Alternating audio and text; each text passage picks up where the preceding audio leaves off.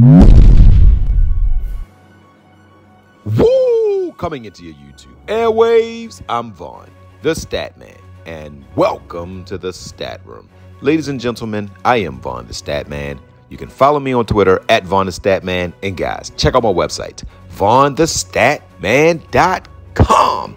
All right, ladies and gentlemen, Man, I know this is an NBA video, but the NFL has been amazing. The Dallas Cowboys got destroyed by my main man, Jordan Love, who's starting his career off better than Aaron Rodgers did, better than Brett Favre did, because Brett Favre got benched in his first year starting in Green Bay. And Jordan Love won a playoff game in his first year starting, something the great Aaron Rodgers couldn't do. Told you guys he was a beast. So, Without wasting any more of you guys' time, you came here for NBA. Let's get right into it. So before I begin this video, guys, please hit that like button. Please subscribe to my channel and also leave a comment, guys. Thank you. Let's get into it. All right, guys, let's break down this five game slate. Now, on this five game slate, guys, let's go look at the games we have on tap. We got Chicago at Cleveland, guys. I look at this game as a slower paced game, and you have four players in this game that I believe that can get you 30 or more fantasy points. That's Donovan Mitchell, who has 70 point potential on any given night. You have Jarrett Allen, who has 55 point potential on any given night. You then have LaVine, who has 45 point potential on any given night. And you have DeRozan with another 55 point performance on any given night. Now, that's when they hit their peak. Now, on the downside, DeRozan can be 20 fantasy points. LaVine can be 18 fantasy points. Um, Jarrett Allen, I would say on an off night could get you 25 fantasy points, and Mitchell on an off night could get you 38. But in this matchup, I see Mitchell getting about 50. I see Allen in this matchup getting about 45. I see LaVine getting about 32. And I see DeRozan getting about 38. And I see Vucevic, who is also someone that can get you 55. I see him getting about 38 to 40 fantasy points. Next, you got Boston at Toronto. This is going to be a up-tempo, fast-paced game. And Toronto should have more energy at this point than Boston.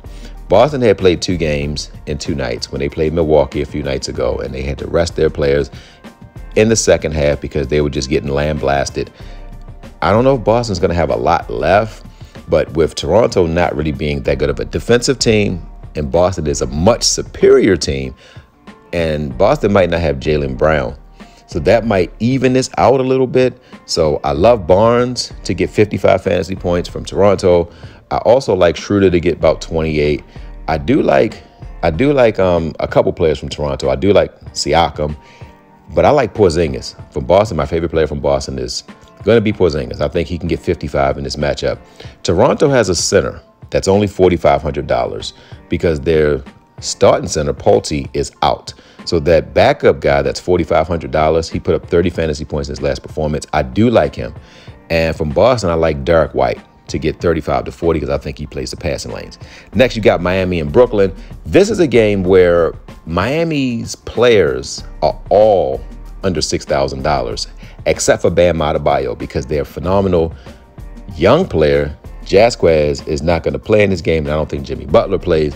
So you have a bunch of inexperienced players. Bam is 9,000. I think Bam goes crazy. On the Brooklyn side, I'm scared to play Brooklyn, guys. I mean, you watch Brooklyn play, you've seen their fantasy numbers. They're all over the place. One minute Bridges can get you 50, next minute he gets you 17. I can't play guys that's Jekyll and Hyde, and they're Jekyll and Hyde to me. But Miami, you can go get a lot of their players are like between four seven and five six, and they all can get 30. I believe almost everybody from, from Miami will get 30 in this matchup. Next, Indiana at Utah is going to be a faster pace game. And Indiana does not have Halliburton. But what I've seen is that they're still scoring 130 points, but they're playing better defense because the backup, because both of the guys play a point guard, they play phenomenal D. You have a great defensive team out there now, and they still can shoot the lights out. They're still passing the ball, and Utah plays fast. This game could be a 260 to 270 point game, but I love the Utah stack. That's playing in altitude. I'm not sure how Indiana is going to handle altitude.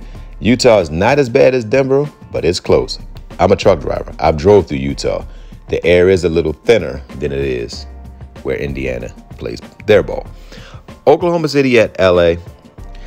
Oklahoma City is clearly superior to the Los Angeles Lakers. They're in a world of hurt right now. And if Shai Gilgeous-Alexander plays, Shai Gilgeous-Alexander and this OKC team is going to just blow the doors off the Lakers. I think that what will make the Lakers be able to keep it close is if Russell can duplicate his last performance. He put up 60 fantasy points in his last game. So if he could duplicate that, they could keep it close. But Davis has to step up. The key to the Lakers is not LeBron. He's 38 years old. He can't carry you for every game. He can maybe every third game LeBron can come and carry you and give you 50 to 60 fantasy points, but he's typically a 38 to 42 fantasy point player now at this stage of his career. And Davis has to be a 65 point a night fantasy player. He has to go to where Joel Embiid is, where every night Joel Embiid is off night, he's giving you 55, great night, he's giving you 80. Davis hasn't had any 70 and 80 point performances. He is too great of a player to not do that. All right, so now, guys, let me just give you the five players that I like. At point guard, the guy that I'm giving you at point guard, guys, I'm giving you Clarkson. Clarkson comes off the bench, and I think against Indiana, they're going to need his scoring because Indiana's going to score. No matter who Indiana play, they're going to put up points. They're going to score at least 115 and 120. But when they're hitting on all cylinders, they can put up 145. So you're going to need Clarkson to match them in scoring. At the shooting guard position, guys, I got to go Tyler Herro, yo. Tyler Herro could put up 55, 60 points against Brooklyn's atrocious defense. So going to go holla. We're going to definitely go with Herro. At the small forward position, guys, I'm going to try to save you a little bit of money.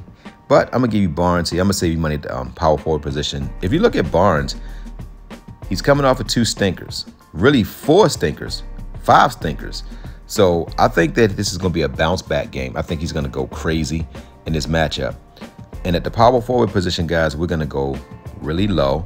And I'm going to give you somebody who I, I like and someone who I think can do well is I'm going to give you Joe Jovic. I think Jovic is going to get you 30 fantasy points. And at 4-9, guys, I mean, you can't beat that. And at the center position, guys, I'm going to take a gamble. He's going to also be the boomstick player tonight. Remember I told you that I love Porter from, from um, Toronto. Now, I don't believe he's going to have 40 fantasy points or nothing like that because he is going to go up against um, he's going up against Porzingis. Porzingis is pretty physical. And Porzingis has been playing a lot better as far as blocking shots and stuff. But I think this young guy can get us 25 to 30 fantasy points. And he's going to also be the boomstick player of the night. So this is guys, you got Porter, Jovic, Barnes, Herro, and Clarkson. So that's it, guys. So I'm on to break down the rest of this five-game slate. Guys, don't forget to win-win. That means give people what they want so you can get what you want. And guys, don't forget to think and ink. That means write it down so that way it can come true. Good hunting on this five-game slate. Love you guys. You made it this far, don't forget to subscribe and like the video and also leave a comment. Thank you guys again. Love you guys.